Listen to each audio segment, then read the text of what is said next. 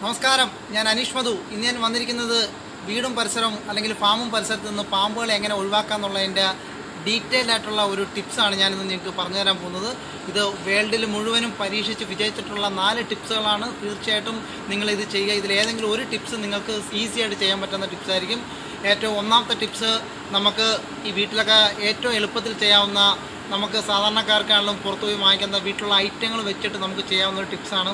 അതായത് നമ്മുടെ വീട്ടിലുള്ള വെളുത്തുള്ളിയും നമ്മുടെ വീട്ടിലുള്ള കായവും ചേർത്ത് നമ്മൾ അരച്ച് വെള്ളം തല വെള്ളത്തിൽ നന്നായിട്ട് കലക്കിയിട്ട് നമ്മൾ വീടും പരിസരവും അല്ലെങ്കിൽ ഫാമും പരിസരത്ത് നമ്മൾ തെളിയിച്ച് കൊടുത്താൽ തളിച്ച് കൊടുത്താൽ നൂറ് ശതമാനം നമ്മുടെ വീടും പരിസരത്ത് നിന്ന് പാമ്പുകൾ ഒഴിവായി പോകുന്നു. നൂറ് ശതമാനം സയന്റിഫിക്കലി പ്രൂവ്ഡ് ആയിട്ടുള്ള കാര്യമാണ്.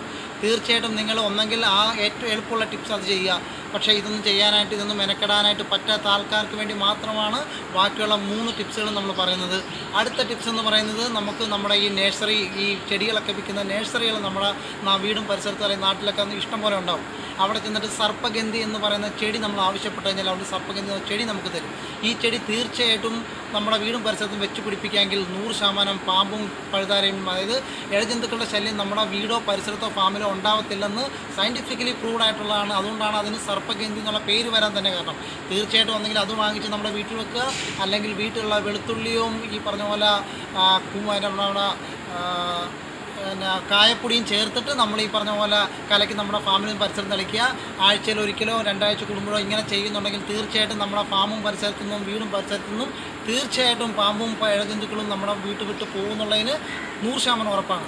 പിന്നെ മൂന്നാമത്തെ ടിപ്സ് എന്ന് പറയുന്നത് നമുക്ക് ആമസോൺ ഫ്ലിപ്കാർട്ട് ഇങ്ങനെയുള്ള ഓൺലൈൻ സൈറ്റ് വഴി നമുക്ക് വാങ്ങിക്കാൻ പറ്റുന്ന ഒരു ഐറ്റമാണ് നമുക്ക് അതായത് ഒരു വൈബ്രേറ്റർ അതായത് ഈ സ്നേക്ക് വൈബ്രേറ്റർ എന്ന് പറയും. സ്നൈ സ്നേക്ക് റിപ്പില്ലർ വൈബ്രേറ്റർ എന്ന് പറയും. അതായത് ചെറിയൊരു one feet two feet three feet പല അളവിൽ നമുക്ക് അവൈലബിൾ ആണ് ഓൺലൈൻ സൈറ്റുകളിൽ നമുക്ക് മുന്നൂറ് മുതൽ ആയിരം വരെ വിലയുള്ള സാധനം നമുക്ക് അവൈലബിൾ ആണ്. ഇത് ഓട്ടോമാറ്റിക് ഇതൊരു സോളാർ സിസ്റ്റമുള്ള ഒരു സിസ്റ്റമാണ് ഇത് ഓട്ടോമാറ്റിക് സോളാർ ചാർജ് ആവുകയും നമുക്ക് ഈ പറഞ്ഞ പോലെ ട്വന്റി ഫോർ അവേഴ്സ് വർക്ക് ചെയ്യാനും പറ്റുന്ന ഒരു സിസ്റ്റമാണിത് ഇത് ഭൂമിയിൽ നമ്മൾ വെറുതെ അടിച്ച് താഴ്ത്തി വെച്ച് കഴിഞ്ഞാൽ ഇത് ഓട്ടോമാറ്റിക് വൈബ്രേറ്റ് ചെയ്തുകൊണ്ടിരിക്കും.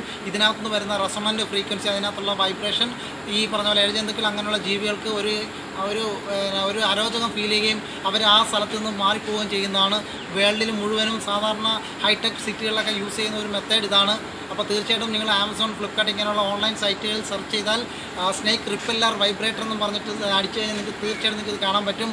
പിന്നെ നാലാമത്തേന്ന് പറഞ്ഞാൽ സ്നേക്ക് റിപ്പില്ലർ പൗഡറാണ് അല്ലെങ്കിൽ സ്നേക്ക് റിപ്പില്ലർ സൊല്യൂഷൻ എന്ന് പറയുന്ന സാധനമുണ്ട്. ഇത് വെള്ളമായിട്ടും കിട്ടും ഇത് പൗഡറായിട്ടും കിട്ടും. നമ്മൾ ഈ വെള്ളമായിട്ടും പൗഡറായിട്ടും നമുക്ക് വേണമെങ്കിൽ മിക്സ് ചെയ്ത് നമുക്ക് പരിസരം മൊത്തം തെളിക്കാം. അപ്പോൾ ഇങ്ങനെ ചെയ്യുമ്പോൾ ഒരേ ഒരു കുഴപ്പം എന്നാ വെച്ചാൽ മഴയോ അങ്ങനെയുള്ള ഇത് കഴിഞ്ഞാൽ അത് ഉടനെ തന്നെ നമ്മളത് റീ അപ്ലൈ ചെയ്യേണ്ട ഒരു അവസ്ഥയാണ്. അപ്പോൾ തീർച്ചയായിട്ടും നിങ്ങൾ ഓൺലൈനിൽ ഇങ്ങനെയുള്ള സാധനങ്ങൾ വാങ്ങിച്ച് ഉപയോഗിക്കുകയോ അല്ലെന്നുണ്ടെന്നുണ്ടെങ്കിൽ സ്നേക്ക് റിപ്പല്ലർ വാങ്ങിച്ച് ഉപയോഗിക്കുകയോ അല്ലെങ്കിൽ സർപ്പഗന്ധി എന്ന് പറയുന്ന ചെടികൾ വാങ്ങിച്ച് നിങ്ങൾ നട്ട് വളർത്തുകയോ അല്ലെന്നുണ്ടെന്നുണ്ടെങ്കിൽ ഞാൻ ഈ പറഞ്ഞ രീതിയിൽ തുളസ് വെളുത്തുള്ളിയും നമ്മുടെ കായവും ഉപയോഗിച്ചുകൊണ്ട് നമുക്ക് തീർച്ചയായിട്ടും നമ്മുടെ വീടും പരിസരത്തും സ്നേഹി പാമ്പ് പാമ്പുകളെ നമുക്ക് ഒഴിവാക്കാനായിട്ട് തീർച്ചയായിട്ടും പറ്റും. അപ്പോൾ ഈ പറഞ്ഞ നാല് മെത്തേഡുകളിൽ ഏതെങ്കിലും ഒരു മെത്തേഡ് യൂസ് ചെയ്തുകൊണ്ട് നമ്മുടെ വീടും പരിസരവും അല്ലെങ്കിൽ ഫാമും പരിസരത്തു നിന്നും ഇഴജന്തുക്കളെ ഒഴിവാക്കാനുള്ള ഏറ്റവും എളുപ്പമായ മാർഗങ്ങളാണ് ഇത്. ലോകത്തെല്ലാവരും പരീക്ഷിച്ച് വിജയിച്ചിട്ടുള്ള ടിപ്പുകളാണ് തീർച്ചയായിട്ടും ഇത് നിങ്ങൾ ചെയ്യുക. നിങ്ങൾ നിങ്ങളുടെ വീടും പരിസരത്തു നിന്ന് പാമ്പുകളെ ഒഴിവാക്കുക. നന്ദി നമസ്കാരം.